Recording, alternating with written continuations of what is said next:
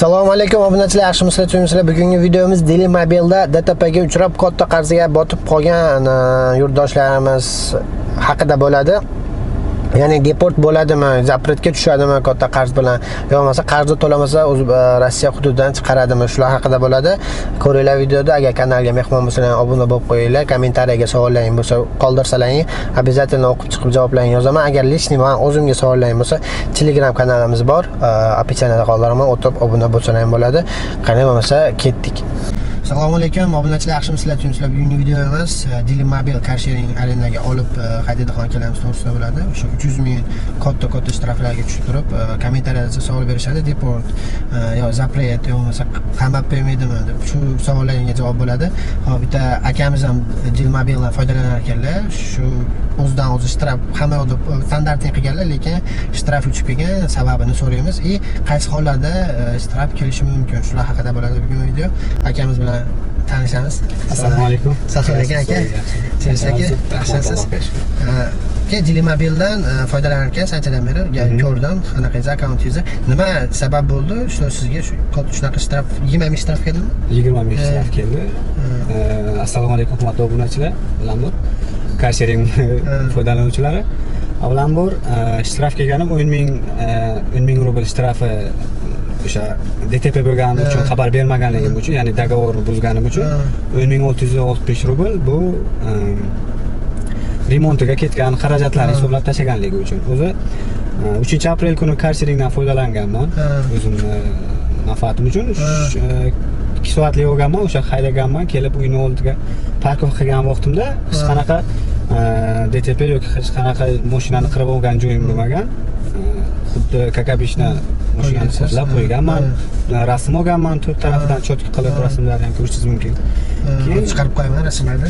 O'sha qo'ygandan keyin keyin to'rtinchi aprel kuni uchinchi aprel kuni qo'ygan bo'lsam kelasi kuni o'zi почти har kuni minaman. Har kuni ming so'm bir yarim ming so'mga ikki soatlik bo'lib bo'lib o'zim ishim uchun ishlataman shu bilan yigirmanchi aprelman nechinchi aprelga telefon qilishyapti manga keyin elektron pochtamga xabar yozishyapti. Biza что qanaqadir biz afsusgamiz san bilan shunaqa bir dtp nima bo'libdi qanaqadir mashinani qirib olibsan уже bir qanaqadir vaqtdan keyin chiqyapti endi сразу emasda uchinchi aprelda emas to'rtinchi aprelga telefon qilmayapti. O'n besh o'n olti kun o'tgandan keyin telefon qilishyaptida keyin aytishdi shunaqa dtp bo'libdi shtraf qo'yamiz shunaqa shtraf qo'yamiz xabar bermaganligi uchun aytib berdim o'n ming so'm detallar uchun o'n ming olti yuz so'm общий hisobda yigirma ming olti yuz oltmish rubl. Manga shtraf qo'yishdi. Ho'p keyin man savol berdim texpodдержкаga bormi fakt? Qanaqadir jabrlanuvchi bormi? Manga o'shani tushuntirib beringlar. Yo'q buni deb. Faqat guvoh aytishligi bo'yicha san mashina qirib olgansan deyishdi. Что mashinani orqa o'sha parkovka qilish vaqtida qirib olgansan deyishdi keyin mandan so'rashdi haqiqatdan ham shunaqa bo'ldimi bo'lmadimi? Shu paytda agar siz maslahatim agar siz haqiqatdan qilgan bo'lsangiz tan olsalaringiz o'zlaringizga qilgan bo'lsangiz ham alam qilmaydida. O'sha alam qilmaydi. Agar qilmagan bo'lsangiz sizga aytish san qilgansan desa bu juda yam nohaqlik hop dilmobilda shunaqa edilarda endi texpodдержка shunaqa dedi. Keyin elektron pochtalarim bilan man ham yozdim keyin texpodдержкаga o'zim yana qayta telefon qildim. Keyin aytishligi bo'yicha biz заявление qoldirdik что man не согласен rozi emasman. keyin shu bilan vaqt o'tdi ikki uch kun o'tdi. Mana bugun tursam уже kartangizdan kartemdan yechib olibdi. o'n ming rubl yechibdi o'sha remonti uchun qancha ketgan o'sha xarajatni yechib olganman yana polniy cheklarini ham jo'natib qo'ygan nimaga sarflashgan qanaqa nimaga ketgan pullar polniy отчетni ham jo'natib отчетni ham chiqarib qo'yaman отчетni отчеtlarigacha chiqarib endi bunga katta sabab nima deb o'ylaysiz aka mashinani kirligimi yo bo'lmasa qorong'ida rasmga olganmisiz? Qaysi anaqasi endi imkon darajasiga telefoningizni kamerasi juda ham yaxshi bo'lishi kerak.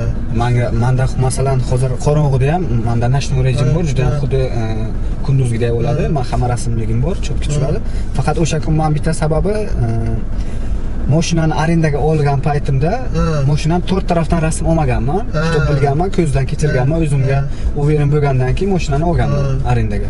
Lekin o'shanda ham bitta ikkita joy rasmlarini tashlayman. Qo'ysangiz ham bo'ladi.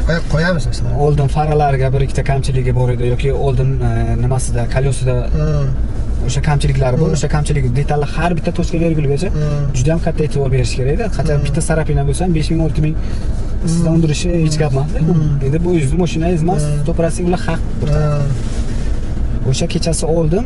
Что bitta xatom o'sha sarapina bormi o'sha qirilgan joyi bormi yo'q bo'lsa ham Ha. man o'zim uchun olishim kerak edi. O'sha to'rt tarafdan cho'tki qilib o'sha siz shashilgansiz shashilganingiz oqibatida sizga shunaqa shtraf keldi? Agar boshida olganingizda e olayotganda bunaqa ekan e qo'yayotganda ham bunaqa ekan deydi. o'sha Ha. ilojisi bo'lsa o'sha arendaga oladigan vaqtda ham Erinmasdan. erinmasdan mashinani to'rt tarafdan Ha, juda ham chiroyli qilib cho'tki qilib rasm olinglar osmotor qilish kerak. asmotor qilish kerak. Yana bitta aytmoqchimanki ana bitta o'rtog'im minibdi mashinani haydab ketib juda ham shoshqaloqlik qilib biza ko'pchilik o'zi yoshlar haydaymizku Ha. mashinaga o'tirgan vaqtda albatta bagajnikni tekshirish kerak.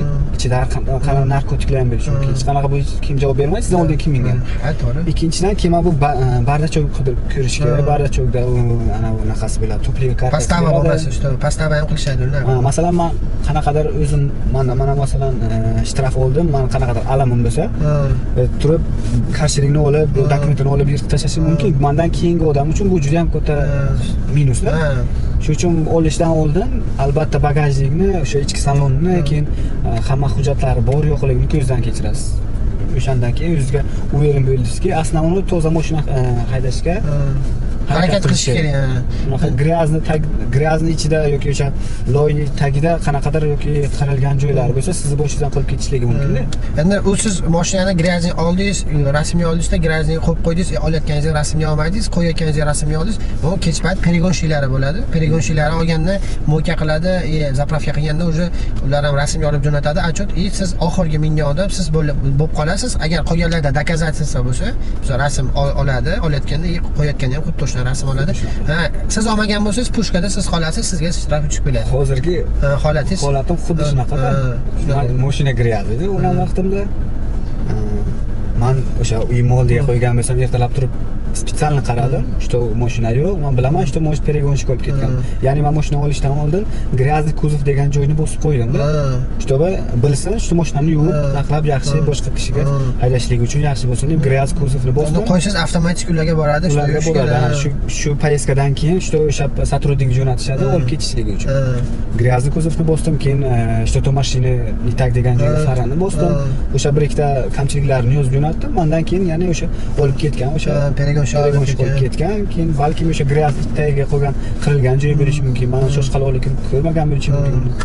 So, siz o'qda qoldingizda xullas? Xullas man o'qda qolgan Ha. birodarman endi hozir поддержкада yozyapsiz что sizga aytdingiz o'zingiz ajdaniyaga ikki ming pul olib qo'yishganda qaytarib bergan u Mhm. haqqi- haqqoniylik ham qilishgan dedingiz qiladi qiladi qiladi agar prav bo'lsangiz qiladi albatta agar доказательствongiz bo'lsa tashlab bersangiz ularga что siz правligingizni ular qaytarib beradi pulni aldamaydi shunday hozirgi holatimiz bo'yicha ham mana hamma hujjat o'sha nimalar bor доказательства bor. Tashladingiz hamma narsani tashladim o'sha rasmligicha bor. O'sha qa- qachon arendani tugatgan vaqtimgacha qanaqadir rasmlar hammaligi bor. Endi ularni aytish bo'yicha agar biz xato qilgan bo'lsak endi Ha. delimobilni aytish bo'yicha agar biz buni qanaqadir sizni aybdor qilib topmasak biz qaytib pulingizni tashlaymiz deb nima qilishdi? Va'da berishdi.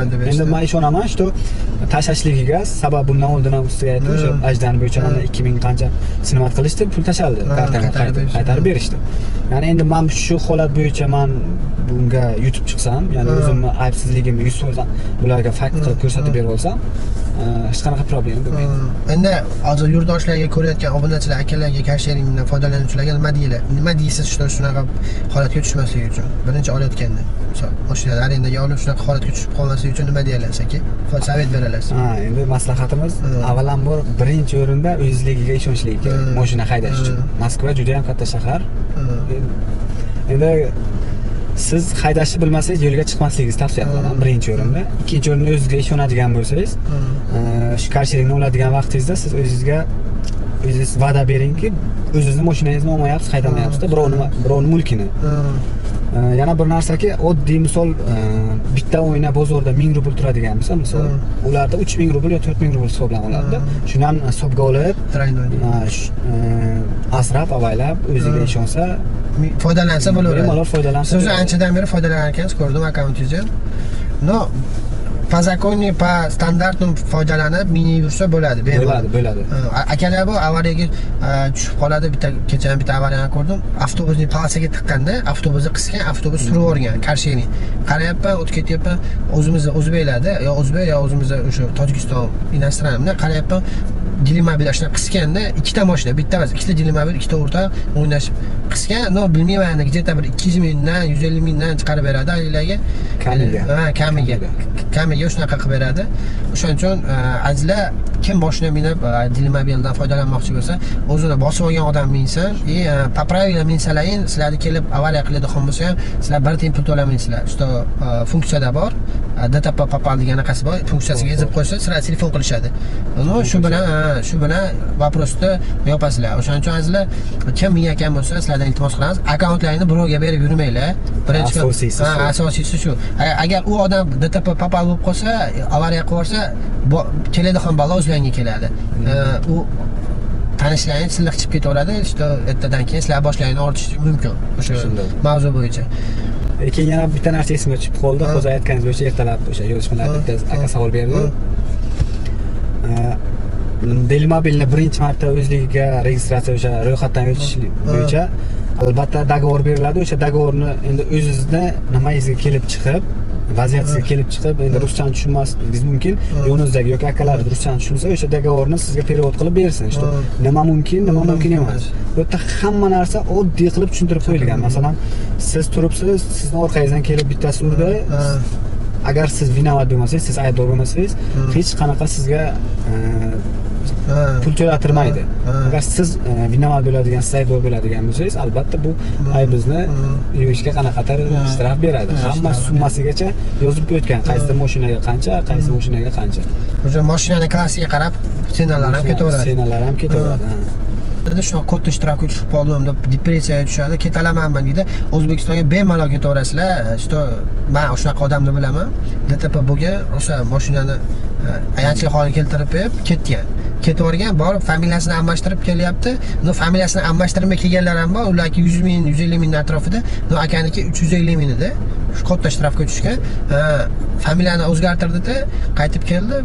Ну hozir ishlab yuribdi endi dtp bilmayman aka пожизненный endi karshering olmasa kerak. O'shaning uchun azizlar kim ketaman a, ketolamanman shunaqa katta anaqaga tushib qoldim desalar panika qilmanglar bemalol ketaverasizlar но ketganlar bor. E, qanaqadir государственный anaqa emas просто договор по договору mashina olgansizlar shuni dtp qilib yubordilar to'lamasdan ketdilar shunaqa bo'ladi. Bu hech qanaqa qo'rqinchli joy ha, qo'rqinchli agar dtp bo'lib qolgan bo'lsalar iloji yo'q.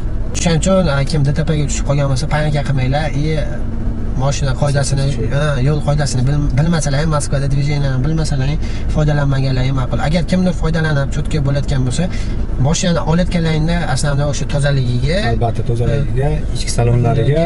и багажник и bardachokda обязательно tekshirib qo'yishlaringni albatta tavsiya qilamiz. Чтобы keyinchalik bu akamga o'xshab yo bo'lmasa shtraf uchib uchun.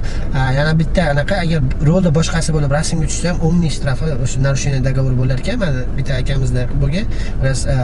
Ukasini akkauntini olgan o'zi rasmga tushib jo'natib yuborgan нарушение договор dtp mtp qilmagan shunday нарушение договор o'n ming rubl kelganda boshqa chujur akkaunt bo'yicha shunaqa boshqasiga rolni bergan нарушение договор bir xil ekanku нарушение договор o'n ming rubl O'n ming, ekan o'n ming. o'n ming rubl keladi sizlarga o'shaning uchun akkauntlaringni ochyapsizlarmi akkuratniy foydalansanglar ham bu ham sizlarni o'zidan o'zi shtraf qo'yib qo'ymaydi o'shaning uchun hammaga kim foydalanayotgan bo'lsa qonun qoidasiga rioya qilib foydalansalar ham unaqa shtrafga tushmaysizlar shu o'zlari uchun o'zlaringiz komfortni yaratinglar hech qanaqa yoki ko'chadan pul topib olib oddiy misolga pulni tarqatmanglar Hmm. masalan? O'zligini foydasiga ishlatsin oddiy bo'lar bo'lmas shtraflarga to'lab nima berilmasa bo'ldi endi